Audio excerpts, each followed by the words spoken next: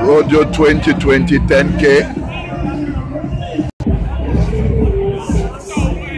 The VIPs in the breakfast section. The University of Houston band. million dollars. If you lose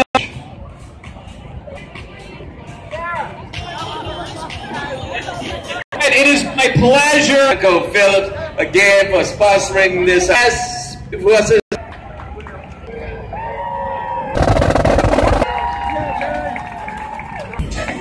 Ah!